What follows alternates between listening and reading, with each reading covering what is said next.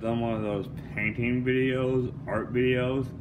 Well, I have a new painting of Kid the heavy metal rap singer. I did yesterday because he has a new album out, which will also be his last album, Bad Reputation.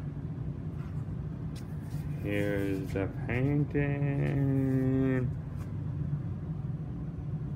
Yes, he is rocking the gray facial hair. He's 51 years old.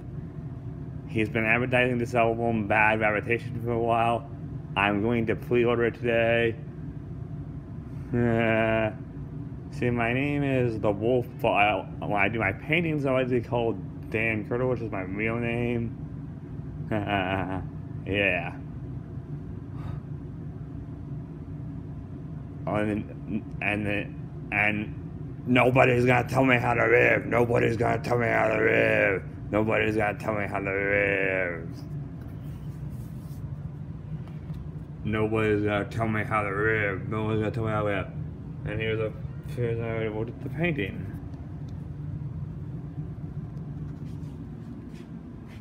Hmm.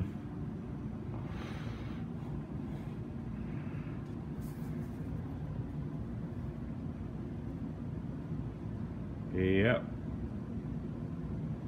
And here's another rocket. The painting. Let's go Brandon. Please describe. Uh, uh, how, how is the wall? There's another one of that crazy Kid Rock painting. It looks very much like him. He's 51 now. He also has a song on there called, I'll say it, uh, on FN 50. what is it called? On fucking 50, which is hilarious, a stereo.